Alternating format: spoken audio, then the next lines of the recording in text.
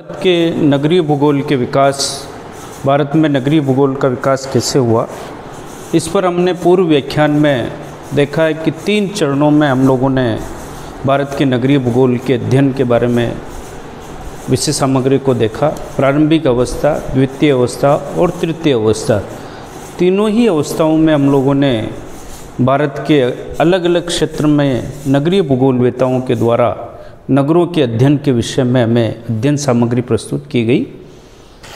हम देखते हैं कि भारत में कुछ केंद्र ऐसे विकसित हुए जहाँ नगरीय अध्ययनों को बहुत अधिक महत्व दिया गया। Madras school, Calcutta school, Varanasi school और भी अन्य विश्वविद्यालय जहाँ जो है नगरीय अध्ययन किए गए। आज हम लोग जो है नगरीय भूगोल के मद्रास स्कूल के विषय में अध्ययन कर रहे हैं। कि मद्रास जो केंद्र था, विश्वविद्यालय था, वहाँ के भूगोलवेताओं ने नगरों के अध्ययन को किया और किस तरह से उन्होंने प्रस्तुत किया। हम देखते हैं कि नगरीय अध्ययनों की जो शुरुआत है, वो मद्रास विश्वविद्यालय से ही मानी जाती है। मद्रास विश्वविद्यालय के जो भूगोल के प्रोफेसर थे, उन्होंने मद्रास को केंद्र मानते हुए दक्षिण भारत के नगरों के अध्ययन सामग्री हमारे सामने रखी। कई शोध पत्र उन्होंने प्रकाशित किए। इसमें एक नाम हमारे सामने आता है सी एस निवासचारी। 1927 में सी एस निवासचारी ने जो है, सबसे पहले मद्रास नगर का जो है, ऐतिहासिक अध्ययन हमारे सामने प्रस्तुत किया। और मद्रास का विकास कैसे हुआ, उसके आसपास के धरातल का मद्रास के विकास में क्या योगदान है, इस विषय पर काफ़ी विस्तार से उन्होंने शोध पत्र प्रस्तुत किया। 1928 में जो है, दक्षिण भारत में नगरों की जो सीवेज की समस्या है, नगरों में जो मलमूत्र, वेस्टेज वाटर और जो जल प्रवाहित होता है, उसके निकास की जो व्यवस्था है, उसके ऊपर जो है, दक्षिण भारत के नगरों पर कई लेख प्रकाशित हुए और उन समस्याओं के निराकरण का भूगोलवेताओं ने सुझाव निराकरण के उपाय और सुझाव दिए। 1903 में 30 में जो है, आर डॉन नामक विदेशी भूगोलवेता ने दक्षिण भारत के नगरों पर कई लेख प्रकाशित किए। उन लेखों में नगरों के बसाव स्थान, उनके कार्यात्मक प्रकारों, नगर के विकास आदि बातों पर अपने लेखों में विस्तृत लेखन कार्य किया और नगरीय भूगोल के विकास में योगदान दिया। दक्षिण भारतीय भूगोलवेता सुब्रमण्यम, जिन्होंने 1930 से 41 के दशक में कालीकट, मद्रास नगरों के अध्ययन पर जो है लेख प्रकाशित किए। और दक्षिण भारत के कई नगरों के बारे में उन्होंने तुलनात्मक अध्ययन जो है अपने लेखों में किया।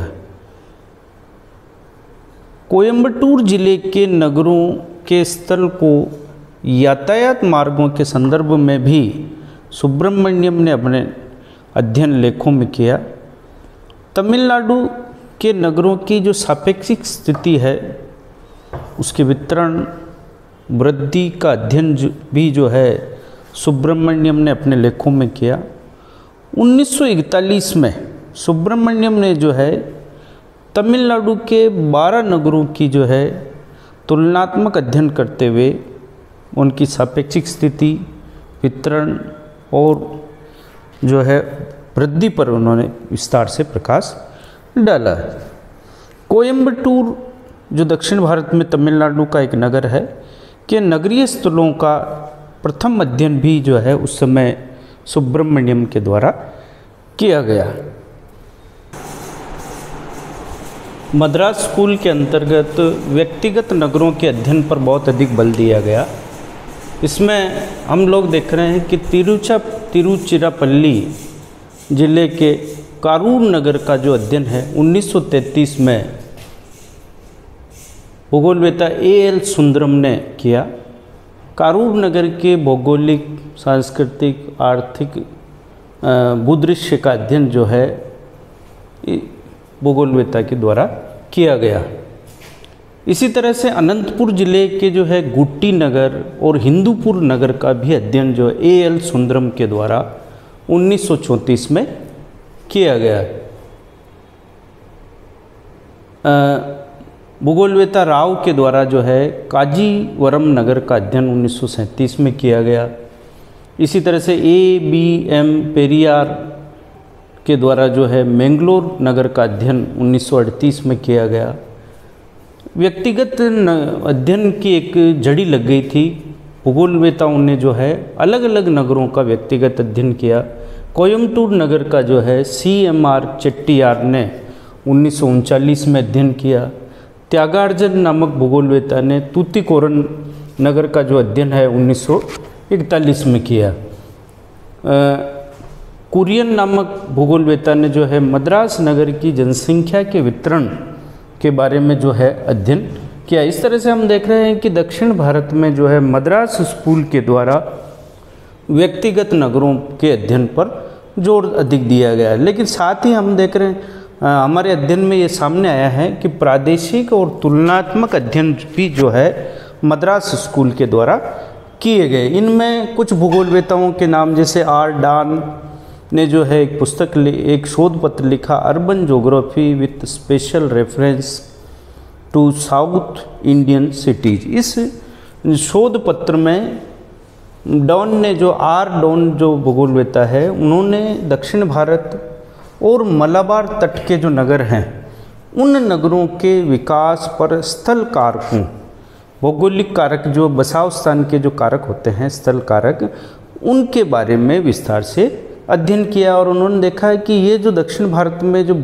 और मलाबार तट पर जो नगर बसे हैं, इनके ऊपर प्राकृतिक जो भौगोलिक कारक है बसाव स्थान के, उनका प्रभाव किस तरह से उभर के सामने आया है? नगरों के विकास में क्या योगदान है? डॉन ने अपने लेख में तिरुचिरापल्ली और श्रीरंगम, दो नगर है दक्षिण भारत के, उनका तुलनात्मक अध्ययन भी प्रस्तुत किया और 1933 में यह हमारे सामने आया है। दक्षिण भारतीय भूगोलवेता सुब्रमण्यम ने जो है कोयम्बटूर ज़िले के नगरों के अध्ययन पर विशेष ध्यान आकर्षित किया। साथ ही उन्होंने तमिलनाडु के जो महत्वपूर्ण नगर हैं, उन नगरों का अध्ययन किया और 12 नगरों का तुलनात्मक अध्ययन जो है तमिलनाडु के, उन्होंने सुब्रमण्यम ने अपने शोध पत्रों में किया। उन्होंने व्यक्तिगत के साथ साथ तुलनात्मक अध्ययन भी हमारे सामने प्रस्तुत किए। सुब्रमण्यम ने जो है एक और नगरीय भूगोल के बारे में कार्य किया है। अर्बन फ्रिंज जिसे नगरीय उपांत कहा जाता है, उसका अध्ययन सबसे पहले भारत में उन्होंने प्रारंभ किया और नगर, मद्रास नगर के जो नगरीय उपांत क्षेत्र है सेदापेट क्षेत्र, उसका अध्ययन जो है, अपने अध्ययन में किया और उन्होंने उस पर शोध पत्र प्रस्तुत किया।